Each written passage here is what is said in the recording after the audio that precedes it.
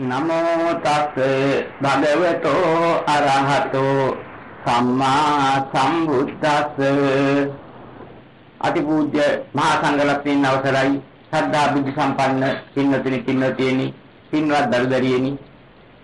අද මේ පින්තුන් කෙරෙහි දේශනා කරන්න බලාපොරොත්තු වන්නේ මාත්‍තර මහානිසංස නිලින්දින ආනාපාන සති භාවනාව වැඩිවීමට මූලික පසුතලයේ වශයෙන් බුදු පියාණන් වහන්සේ දේශනා කරපු ඒ පසුතල භාවනා පද්ධතිය විග්‍රහ කිරීමයි.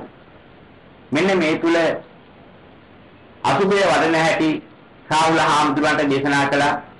අන්නේ දේශනා කරපු අසුබේ පිළිබඳව විග්‍රහයක් අපි කරලා ඊළඟ බුදු පියාණන් වහන්සේ දේශනා කරනවා සාහුල ඒ අසුබේ වැඩිව වාගීම ඊළඟ දකිත මොකද්ද මේ ලෝකේ අනිත්‍ය දකින්ට අනිත්‍ය සංඥාවෙන් දකින්ට අන්න අනිත්‍ය සංඥාවෙන් ලෝකේ දකින්නකොට මොකද වෙන්නේ? යම් අස්මී මානයක් තිබුණා නම් මම යන යම් කිසි මාන මාත්‍රයක් මම යන හැඟීමෙන් ලෝකේ අල්ලගන්න මානසිකත්වයක් තිබුණා නම් ඒක දුරු වෙලා යනවා. අස්මී මානෙ දුරු වෙලා ගියා නම් නිවනට ඊටාම ආසන්න මොහොත. මෙන්න මේ ස්වභාවයට වැටෙනකොට පුද්ගලයාට නිවන් සාන්තිය වැටෙන්න තැනට ආවා.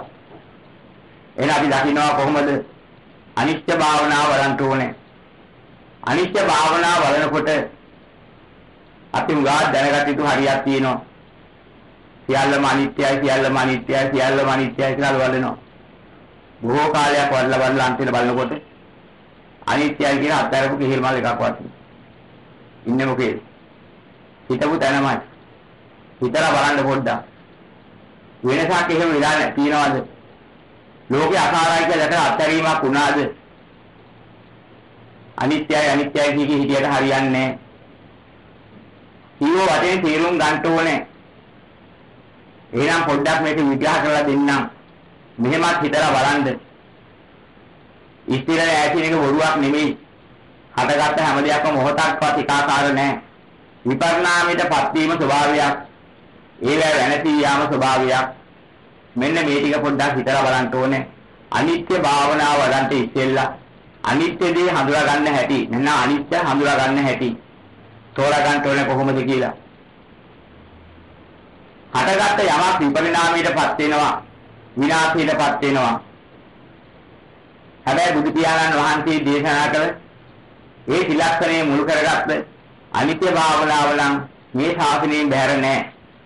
ශාසනයෙන් බැහැර තිබුණා නම් බුදුවරු ලෝකේ පහළ වෙන්න ඕනේ නැහැ. ධර්මයේ කියා දෙන නිවන් දකින්න. අනිත්‍ය හරියට දැක්කනම් ඒ සමගම නිවන් දකින්නවා. ඒකත් එක දෙයක්. දැන් නිවන් මාර්ග කවදාවත් ශාසනයෙන් බැහැර පවතින්න බෑ. පවතින්න හේතු නැහැ. ඒ ධර්මාභෝධී පූර්ණ කරගෙන ඒ තුලින් ඕනේ දකින්න යෝ පටිච්ච සමුප්පාදං පස්සති සෝ ධම්මං පස්සති යමේ පටිච්ච සමුප්පාදී දකීද ඔහු ධර්මයේ දකි පටිච්ච සමුප්පාදීන් දකින්න නැතුව අනිත්‍ය ධර්මයේ දකින්න බෑ. එහෙනම් මොකද්ද දකින්න පුළුවන්? කාටවත් දකින්න පුළුවන් වෙන හරිය දකින්නවා. විපරිණාමයටපත් වෙනවා වෙනසෙනවා. අපි අහුවොත් බෞද්ධ නොවන පින්නතෙකුගේ හටගත් එකාට මොකද වෙන්නේ? උපාය කාට මොකද වෙන්නේ කියලා අහුවොත් සදාකම ජීවත් වෙනවා කියනවා. මේ උපදින මිනිස්සෙයින්ට මොකද වෙන්නේ? උපන් හැටි මේ එකපාර මැරිලා යනවද?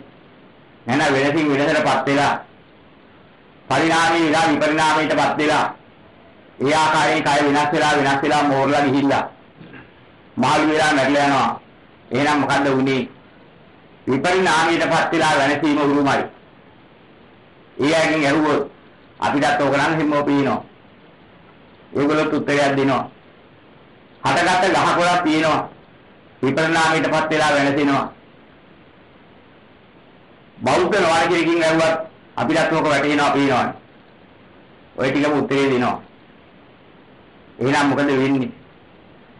විපරිණාමයේ පැත්තලා වැනසීම මේ ලෝකයේ යම් ප්‍රිය ස්වභාවයෙන් මధుර ස්වභාවයෙන් ලෝකයා යම බදන්න හදනවද? ප්‍රිය ස්වභාවයෙන් මధుර ස්වභාවයෙන් යමක් ඇතිව කරනවද? ඔහු ඒ ආස්වාදේ ලබන්නේ විපරිණාමයයි වැනසීමයි අතර තියෙන ක්‍රියාදාමයක් තුලින්. පොඩ්ඩක් මේකත් හිතලා බලලා ඉන්න. දරුවෙක්ගේ ඔළුව අත ගන්නවා. එක ආකාර වෙන ක්‍රියාවලියක් නෙමෙයි ඒක ක්‍රියාදාමයක්. ඔළුව අත ගෑමේ ක්‍රියාවලිය දරුවාගේ ඔළුවේ තියෙන හිතේ තියෙන හැම ඒ වගේම අත ගන්න අතේ තියෙන ස්පර්ශය මොහොතක් ගානේ තැනිටට වෙනස් වීගෙන වෙනස් වීගෙන ඇදිලා යනවා. අන්නේ ඇදිලා යාම නිසා මොකද වුනේ? එක ආකාර ක්‍රියාවලියක් නෙමෙයි එතන තිබුණේ. විවිධාකාර ක්‍රියාපද්ධතිය සිද්ධ වුණා. ඔහු ඒකේ සුවයක් ලැබුවා. ළමයා අත ගන්නවට සනීපයි කියලා ඉන්නවා. අපි යම් කිසි දෙයක් කනවා. කටේ දාගෙන හපනකොට රහ දැනෙනවා. කට හොල්ලන්න නැතුව හිටියනම් කටේ දාගත්තම මං ඉහිම්මම මේ රහ ගන්න බෑ. එන විපරිණාමයටපත් වෙන වෙනසෙන ක්ෂණික ක්‍රියාවලියක් තුලින් වෙන ක්‍රියාදාමය තමයි හැපීමේ ක්‍රියාවලිය. ඊළඟ මේ හැපීමේ ක්‍රියාවලිය තුලින් ආස්වාදයක් මතුවනා නම් කවුරු එක දුකයි කිව්වත් ඒක අත්දකින්න කැමති නෑ මනුස්සයා. ඒ සත්‍යය අත්දකින්න කැමති නෑ. ඒක අල්ලා ගන්නවනේ. එහෙනම් පියයි මනාපයි යහපතයි කියලා යමක් ලෝකේ පේනකොට අර විපරිණාමය නිසා වැයසීම නිසා ඒක වැයක් නැහැ කියලා අපි එකපාර ගත්තොත් අපිට මේක යථාර්ථයේ තේරෙනවද කියලා බලන්න.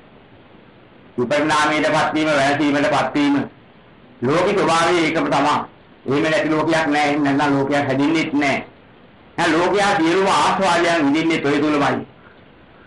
එහෙනම් ලෝක සත්‍යයට දුකක් දැනෙන්නේ කොතනින්ද? අන්න අපි දකින්න ඕන දෙයක් තියෙනවා.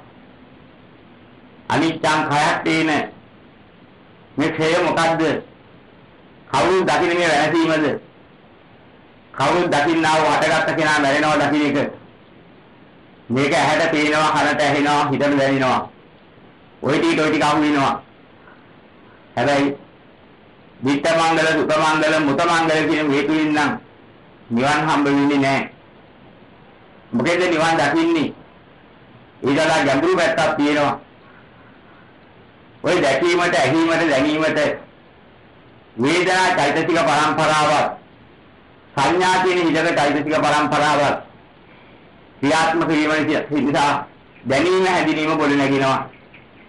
හැබැයි අනිත්‍ය ධර්මතාවයේ පූර්ව භාග නුවණ ප්‍රඥා සතු කාරණයක් ප්‍රඥාවට ගෝචර වෙන දෙයක්.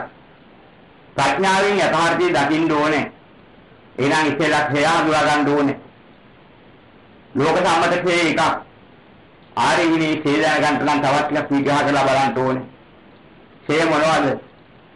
යම් ධර්මයක් අපිට අවඩක් නම් සිද්ධ වෙන්නේ. අපිට නොකටිටක් නම් සිද්ධ වෙන්නේ. අපිට ගෙලදෙනේ ජරා මරණ ශෝක පරිදේව දුක්ඛ දෝමනස උපායාසයෝ නම් අපි එහෙම අවස්ථාවක් තුල ඒක පිය කරන්නේ නැහැ. ඒක ධන කොටට දාන්නේ නැහැ. ඒක ගෙවි ගෙවි යන දින කොටටයි දාන්නේ. හරයක් ඇති කොටට දාන්නේ නැහැ එහෙම වැඩ පිළිලක්. යම් වැඩ පිළිලක් අසු කීමේ ප්‍රතිඵලේ ජරා මරණ ශෝක පරිදේව දුක්ඛ දෝමනස උපායාස වලනගෙන එකක් නම් අන්න ඒවා හේ ධර්ම හේකරාදී කියන ධර්ම. හේකවත් වෙනසීම මේ සාසනයේ වෙනසීම මොකද්ද? කොහොමද ඒක දැනගන්නේ? කවුරුත් දකින හටගෙන හටගත්ත පුද්ගලයා විපරිණාමයටපත් වෙලා වෙනසෙන එක නම් ඒ ස්වභාවය නෙමෙයි මේ කියන්නේ. ඒකතලා ගැඹුරු පැත්තක් තියෙනවා. මොකද්ද වෙන්නේ? මේ ශාසනය තුල මරණය මොකද්ද? පමාදෝ මත්තුනෝ පදං. මින ශාසනයේ මරණය මේ ශාසනයේ පෙන්නු මරණය. ප්‍රමාදයේ මරණ පදයයි. අප්‍රමාදෝ අමත පදං. අන්න අප්‍රමාදී නොමරන පදයයි. නොබැරන නොබැරන පෙදෙස ඒකයි. අමරිනියත් එතනයි. එන අප්‍රමාදී නම් නිවන කරා යන ගමන. ප්‍රමාදී නම් ලෝකාස්වාදී ඇලි ගලි ඉන්න වැඩපිළිවෙල. ඒක මරණයේ සමානයි. මේ ආරවිනේ මරණයේ ඕකයි. ඔන්න ඔය ශේකරා යනවා නම් ඒකේ සිද්ධ වෙන්නේ මොකද්ද? සසර පැවැත්මට අහුණා නම් ජරා මරණ ශෝක පරිදේව දුක් දුමනස් උපායාස ගෙන දින පැත්තට මග උදිනවා නම් ඒකට මග වැඩෙනවා නම් අන්නේ ලෞකික වැඩ පිළිවෙලම ඡේ වැඩ පිළිවෙලක් ඒක ඡේ ධර්මයි මෙන්න මේ ඡේ ධර්ම තෝරා ගන්න ඕනේ මෙන්න මේ ඡේ ධර්ම තෝරාගත්තොත් මේ ආර්ය විනයේ තිබෙන අනිත්‍යතාවය තෝරා ගන්න බොහෝ පහසුවක් වෙනවා එහෙනම් මොකද්ද කරගන්නේ? කොහොමද දකින්නේ? අපි යම කැමති වුණා. කැමති දේ ලැබෙන්නේ යම් පිච්ඡන්න ලබති තම්පි දුක්ඛං. කැමති යමක් ලැබෙන්නේ නම් ඒක දුකයි. අන්න දුක කරා ගෙනියන අසහනේ කරා ගෙනියන වැඩ පිළිලා තියෙනවා නම් අන්න ඒවා තමයි ජාති ධර්ම ජරා ධර්ම ව්‍යාධි ධර්ම මරණ ධර්ම ශෝක ධර්ම පරිදේව ධර්ම දුක්ඛ ධර්ම දෝමනස් ධර්ම උපායාස ධර්ම ආදී වශයෙන් කිව්වේ ඔය ලෝකයේ පැවැත්මේ තියෙන දුක් ගුණකයි සකස් වෙන්නේ ඔහොමයි. එහෙනම් මෙන්න මේ ටික සකස් වෙන එක ප්‍රියමනාපයේ දිනුනහම අපි කොහොමද ප්‍රියමනාපයේ හිත ගලවන්නේ? ඒ ප්‍රියමනාපයේ අසහනාකිය දකින්නේ කොහොමද? අපිට පේන්නේ නැහැ නේ විඳිනකොට එහෙම එකක්. ආස්වාදයේ ප්‍රියමනාපය කියලා පේනවා මිසක්. ඒ ආස්වාදයේ දුකක් කියලා වැටහෙන්නේ නැහැ. එහෙනම් කොහොමද අපි ඒකෙන් මිදෙන්නේ? අසාරත්වයේ දකින්නේ කොහොමද? යෝ පටිච්ච සමුප්පාදං පස්සති සෝදාමං පස්සති මෙන්න මෙතෙන් දකින්න ඕනේ. එහෙනම් කොහොමද දකින්නේ? යම් කිසි ආකාරයක ප්‍රිය ස්වභාවයක් මధుර ස්වභාවයක් විඳින්න ගියොත් මොකද වෙන්නේ? අන්න ඒකට අවශ්‍ය කරන්නා වූ තත්ත්ව අපි හිතා ගන්නවා. පටිච්ච සමුප්පාද ධර්මයේ තුලින් දකිනවා. මොකද්ද වෙන්නේ? යම් ආස්වාදයකට හිත තියලා මනවදන රූපාස්වාද සද්දාස්වාද පස්සේ යනවා. ගන්ධ රස ස්පර්ශ ආස්වාද පස්සේ යනකොට මොනවද ගොඩනගින්නේ? ආස්වාදයේ හරි ප්‍රියයි මනාපයි ආස්වාද දායකයි ඒවා අතහැරලා බෑ. ඒ තුල ඉන්න ඕනේ. ඒවා ගොඩනගන්න ඕනේ. ඒවා පවත් ගන්න ඕනේ කියලා මානසිකත්වයක් උදා කරගෙන හිතෙන් කයෙන් වචනෙන් ඒවට අවශ්‍ය දේ අදාළ දේ කරනකොට ඒ වගේම කියනකොට කරනකොට හිතනකොට මොකද්ද සිද්ධ වෙන්නේ? අවිද්‍යා පත්‍ය සංඛාරා කියන මෙන්න මේ ක්‍රියාවලිය සිද්ධ වෙලා සංඛාර ගොඩ නැගිනවා කාමිය හොඳයි කියලා ගත්තා නම් ගොඩ නැගින්නේ කාම සංඛාර. එහෙනම් බලන්න ඕනේ මොකද්ද ඉන්නේ? ආස්වාද නැත්නම් ඒවා ගොඩ නගන්නේ ලෝකීය ආස්වාදයක් නැත්නම් ලෝක සත්‍යය දැකසරන්නේ නැහැ කියලා බුදුරන් වහන්සේ දේශනා කළා. එහෙනම් මොකද්ද මේ ආස්වාදයක් ඇති නිසාමයි සත්‍යය දැකසරන්නේ අබාගින යන්නේ පසුපස නැත්නම් යන්නේ නැහැ අන්නේ ආස්වාදයේ තමයි අපි දැන් අවිද්‍යාව ගන්න බැරුව ඉන්නේ. මෙන්න මේක අපිට තියෙන ප්‍රශ්නේ. එහෙනම් මේකෙන් අයින් කරගන්න අපි දකින්න ඕනේ මොකද්ද? අන්න ආදීනව දකින්න ඕනේ. ආදීනව දකින්නවා නම් අපි මොකද්ද කරන්න ඕනේ කොහොමද දැකගන්නේ? අන්න දැන් අපි බලාගෙන ආ ඊට ක්‍රමයක් තියෙනවා. ආදීනව දකින්න. එහෙනම් ආදීනව කොනවද? යමක් නිසා ජරාව මරණය, ශෝකේ පරිදේවේ දුක්ඛ දෝමනස්ස උපායාස හට ගන්නවා නම් මෙන්න මේක තමයි අපිට අමාරුව. මෙන්න මේකයි අපාණේ. මොනවා තියෙන තැනදී ඒක හටගන්නේ. ජාති තියෙන තැනයි ජරා මරණ රෝග පරිදේව දුක් දෝමනස් හට උපෝපායාස හටගන්නේ. එහෙනම් ජාති යම් තැනක නැත්නම් එතන ජරා මරණ නැහැ. ශෝක පරිදේව දුක් දෝමනස් උපායාස නැහැ. එහෙනම් දුකක් හා සම්බන්ධයක් අසහන සම්බන්ධයක් විතර නැහැ නිසා. අන්නේ තමයි නිවන. නිවනෙන් මෙවිත යම් තැනක් ඇද්ද? ඔන්න ඔය කියන්නා වූ ජරා මරණ ශෝක පරිදේව දුක්ඛ දෝමනස පායාසයන්ට ගෝචරයි. එහෙනම් ජාතිය කුමකින්ද හටගන්නේ? භවපත්තියෙන් ජාති වෙනවා. උපාදානපත්තියෙන් භව වෙනවා. සංහාපත්තියෙන් උපාදාන වෙනවා. වේදනාපත්තියෙන් තණ්හා වෙනවා. ස්පර්ශපත්තියෙන් වේදනා වෙනවා. සලආයතනපත්තියෙන් ස්පර්ශ වෙනවා. නාම රූපපත්තියෙන් සලආයතන වෙනවා. විඥානපත්තියෙන් නාම රූප වෙනවා. සංඛාරපත්තියෙන් විඥාන වෙනවා. එහෙනම් සංඛාර ගොඩනගන්න තියෙන්න බැරුව තියෙන්නේ මොකද? ප්‍රිය ස්වභාවයට මధుර ස්වභාවයට ඇවිලා ඒක හරි වටිනවා කියලා ගත්තා. ඒ ගත්ත එක නිසා මොකද්ද සිද්ධ වුනේ? නවත්තන්න බැරි පරිච්ඡේදෝපාද ක්‍රියාවලියට අහු වෙලා ගංගා ප්‍රවාහයේ ගලා යනවා වයි ගලාගෙන ගිහිල්ලා ජාතිපත්‍ය ජරා මරණ ශෝක පරිදේව දුක්ඛ දෝමනස උපායාස අසම්භවಂತಿ කියන දෙන්න වැටුණා. මිල දුක්ඛන්දර වෙහිච්ච හැටි. එහෙනම් මේ දුක්ඛන්ද කරා යන මාර්ගයක් ශෝක ජරා මරණ ශෝක පරිදේව දුක් දෝමනස උපායාස කියන දෙන මාර්ගයක් තමයි මේ පියමනාප ආස්වාද දින ආකාරයේ මතියලා මනවදන රූප කියලා මනවදන ශබ්ද කියලා තියෙන ඒවට මේ හිත බැඳගෙන ඉන්නේ. ඒවා වටිනවා කියලා ගත්ත නිසා මට මොකද සිද්ධ වෙන්නේ? භයානක දුකට ගෝචර වෙන්න සිද්ධ වෙනවා. එහෙනම් මේ මායා දර්ශන මුලාවට පත් කරලා ආස්වාදයන් දුල දීලා ආස්වාදයෙන් මත් කරලා සසර ගමන තුල අනාථ කරවන්නට තියෙන ඌල මේක නේද කියලා මෙන්න මේ විදිහට දකිනකොට අන්නේ අවස්ථාවේදී දකිනවා අපි කැමතිසේ බලාපොරොත්තු වෙන ලෝකේ ලබන මාර්ගයක් නෙමෙයි මේ බලාපොරොත්තු වෙන්න ක්‍රමය. අපි බලාපොරොත්තු වෙනවා හදාගෙන කරගෙන ගොඩ ගහගෙන සැලසිල්ල ලබා ගන්න. නමුත් ඒක මුලාවක් මිස භාරිමක් නෙමෙයි කියලා ධර්මානුකූලව දැකදාර පේනවා මෙච්චර කලක් වටිනා දෙයක් කියලා හැවටිලා හිටියේ. මෙන්න මේක නේද? කැමැතිසේ පවත්වා ගන්න ඉඳාගෙන හිටියේ. කැමැතිසේ පවත්වන්න බැරි දෙයකට නේද? එහෙනම් මේ දේ අල්ලාගෙන ගියා නම් මට දැනසීම කරා කවදාවත් යන්න බයක් මේ මේක කියලා. මෙන්න මේ ක්‍රමයේ දැක්කනම් ඉච්ඡසේ නැති ධර්මයේ දකින්නවා කැමැතිසේ නැති දේවල් පස්සේ යන්නේ. එහෙනම් මොකද වෙන්නේ? මෙන්න නිත්‍යතාවය මොකද්ද? කැඩෙන දේක විදෙන දේක වැළකෙන දේක මොන නිත්‍යතාවයක්ද? එහෙනම් යකින් දුක කරදරයක් ගෙන දෙනවා නම් ඒකේ මොන නිත්‍යතාවයක්ද වැදගත් දෙයක්ද? නිත්‍යයි කියලා ගන්න සුළු දෙයක්ද? අල්ලන්න සුළු දෙයක්ද? වැඩක් නෑ නේද කියලා වැටුණාම අන්න අනිත්‍යතාවය වැටහෙනවා. එහෙනම් මොකද වෙන්නේ? ඒ ටික වැටුණාම දුක්ඛතාවය එතරම් තියෙනවා වැටෙන්න දුක්ඛම් බයක් තියෙන ලෝකයා දුකයි කියන්නේ එකක්. ආර්ය දුකයි කියන්නේ ඒකට නම්. ලෝකරා බුදුරු පහළ වෙන්න අවශ්‍ය නැහැ දුක්ඛාද සත්‍ය ලෝකෙට කියා දෙන්න. එහෙනම් ලෝකයා කියන දුකම නම් අපි දැක්කේ. ඒකේ වෙනසක් කො? කො ආර්ය පමණක් දකින්න දුක. එහෙනම් දකින්නේ මොකද්ද? මෙන්න මේ විදිහට ශෝක පරිදේව දුක් දෝමනස් උපායාසයන්ට අනුගමන වැඩ පිළිවිලා මනවදන රූප ශබ්ද ගන්ධ රස ස්පර්ශ ධර්ම වශයෙන් ලෝකෙට මතුවලා මේ වායේ ස්වභාවයකින් මුලා කරලා මේකට යවනවා නම් මේ මුලාව නිසා නේද මෙච්චර කලු දුක් ඉන්නේ මේ දුකෙන් මිදෙන්න බැරි මේ මුලාවට කොටු වෙලා ඒක ආස්වාදය කියලා හිතන නිසා නේද? ඒකේ බැඳෙන හැදෙන ස්වභාවය නිසා නේද? එහෙනම් මේ බැඳෙන හැදෙන ස්වභාවය මේ ආස්වාද ස්වභාවය දුකට ඇදලා ලබන මරවුල නේද කියලා දැක්කට පස්සේ අන්නේ මරවුලට බය වෙනවා. එහෙනම් ආසාවට බය වෙනවා. පිය මනාපීට බයක් ඇති වෙනවා අසුරු කරන්න. මහා භයානක දෙයක්. අසුරු කරන්නේ හිතා මෙච්චර කල් කුලා වුණේ. තව අසුරු කළ කෙනෙක් කායි මුලාවට වැටීමයි. පතු පතු ඇසුරු කරන තාක්කල් මුලාවෙන් මිදෙන්න බෑ.